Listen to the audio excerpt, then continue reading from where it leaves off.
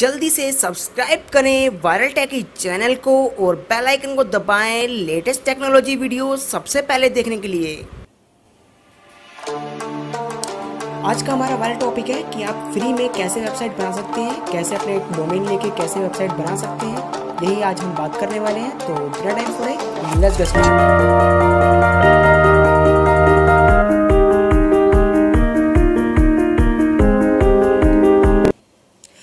आज आपको बताऊँगा कि कैसे आप फ्री में वेबसाइट बना सकते हैं।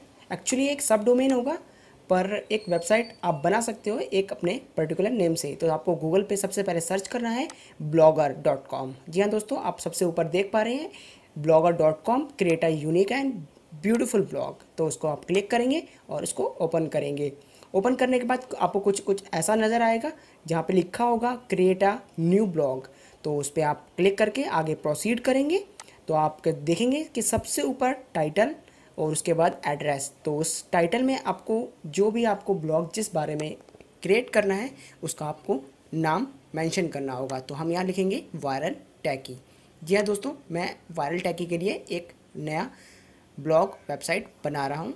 तो उसके लिए मेरे को एक उसका डोमेन जो उसका एड्रेस है, वो भी चूज़ करना है। तो मैं वही चूज़ करता हूँ viral techy dot blogspot dot com this blog address is available जी हाँ दोस्तों, ये शो कर रहा है कि ये एड्रेस अवेलेबल है। आप इसको यूज़ कर सकते हैं। अगर ये अनअवेलेबल होता तो आपको उसको चेंज करके जो अवेलेबल है, वो चूज़ कर सकते हैं। तो उसके बाद आपको क्या करना है? क्रिएट ब्लॉग इससे क्लिक करेंगे और ये थोड़ी देर में आपको दिखा रहा है क्रिएटिंग अ ब्लॉग और ये कंप्लीट होते ही आपका ब्लॉग क्रिएट हो जाएगा।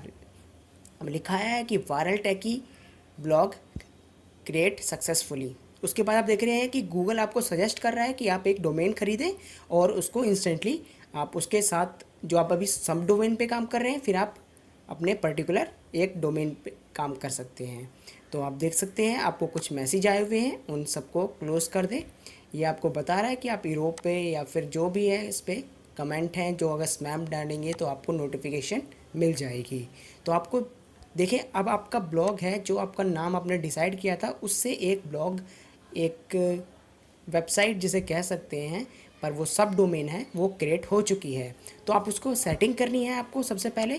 तो आप सेटिंग पे क्लिक करेंगे और आप सबसे ऊपर देख रहे हैं कि आपने टाइटल तो मेंशन कर दिया है, पर उसकी डिस्क्रिप्शन मेंशन नहीं करी है।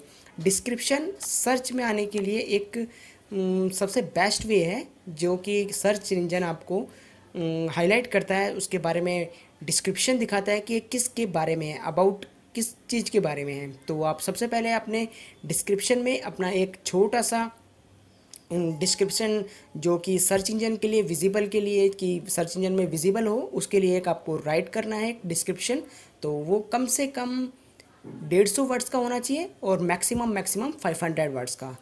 तो सबसे पहले हम देखते हैं, हम लिखते हैं viral techy is providing latest tips and tricks for YouTube तो आप भी ऐसे ही कुछ लिख सकते हैं जिसके बारे में आपका ब्लॉग या वेबसाइट बनाना चाहते हो तो आप यहाँ पे डिस्क्रिप्शन में मेंशन कर देंगे। एक छोटा सा डिस्क्रिप्शन मतलब एटलीस्ट 150 वर्ड्स इतना तो होना चाहिए, क्योंकि सर्च इंजन में आपको अप्रॉक्स डेढ़ सौ वर्ड्स ही शो होते हैं। तो आपने यहाँ पे मेंशन कर दिया, उसके बाद आपको अपना ब्लॉग का जो भी चेंजेस किए हैं, उसको आपको सेव करने होंगे। तो सेव चेंजेस आप इस पर क्लिक करेंगे और आगे प्रोसीड करेंगे। आप जैसे देख रहे हैं कि मैंने लिख दिया है, यहाँ पे लिखा हुआ है नीचे 500 करेक्टर मैक्सिमम आप उसको आप सेव कर देंगे। अब आप सेव कर दिया है सेटिंग वर सेव्ड सक्सेसफुली अब आपको क्या करना है?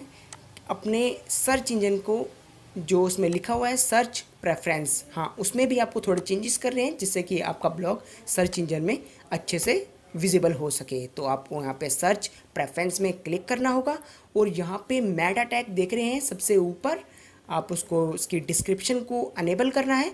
आप जैसे उस पर क्लिक करेंगे, वहाँ पे आएगा अनेबल सर्च डिस्क्रिप्शन उसको आपको यस करना है। यस करने के बाद आपको एक छोटा सा वहाँ पे भी एक मेटा टैग लिखना है, जो कि सर्च इंजन में आपके एक्सपोजर को इंक्रीज़ कर सके। तो आप यहाँ पे एक डिस्क्रिप्शन लिखेंगे, छोटा सा। Viral tech is providing latest news about upcoming mobiles and tips tricks etcetera तो ऐसे ही आपको कुछ अपना लिखना है, जैसे मैंने अपने लिख दिया है, वैसे आप लिख देंगे। यहाँ पे नीचे मेंशन किया हुआ है 150 फिफ्टी करेक्टर मैक्सिमम। इससे ज़्यादा नहीं होना चाहिए। अब आपको सेव चेंजेस करना है। उसके बाद आप नेक्स्ट ऑप्शन देखेंगे क्रॉलर्स एंड इंडेक्सिंग। हाँ दोस्तों, गूगल हर पोस्ट को इंडेक्स करता है, वो कैसे करता है? आपको यहाँ पे सेटिंग चेंज करनी है। आप देख रहे हैं, कस्टम रोबोट्स है, उसको आप चेंजेस करेंगे। उसको अनेबल कर देंगे। उसके बाद यहाँ आपको आपको कस्टम रोबोट्स हेडर टैक्स को भी चेंज करना है। आप इसको यस करेंगे और होम पेज को ऑल और नो डीपी करेंगे और आर्चीज को ऑल और नो इंडेक्स करेंगे। और जो default for page post and pages हैं, उसको भी हम ऑल और नो डीपी करेंगे। जी हाँ दोस्तों, ये क्या करेगा? आपकी पोस्ट को जो सिर्फ़, जो ज़रूरत है, उन्हीं को इंडेक्स करेगा। यूज़लेस चीज़ों को इंडेक्स सर्च इंजन में नहीं करेगा। तो आप देखते हैं आपका ब्लॉग क्रिएट हो गया है और हम चेक करते हैं कि कैसा दिखता है। तो दोस्तों, ये देखो, यहाँ पे मेरा लोगो आ रहा है जो कि मैंने डाल रखा है। आप यहाँ पे प्रोफ़ाइल देख सकते हैं। या फिर मैंने अभी कंटेंट को डाला नहीं है। आप यहाँ डाल के चेक कर सकते हो कुछ कुछ ऐसा ही दिखाई देगा। जैसे जैसे आप पोस्ट करोगे, वह यहाँ सब कुछ दिखाई देंगी। अगर वीडियो अच्छा लगा हो दोस्तों तो लाइक करें शेयर करें। और ऐसे वीडियो देखने के लिए हमारे चैनल को सब्सक्राइब करें। मैं से वीडियो लेके Bye.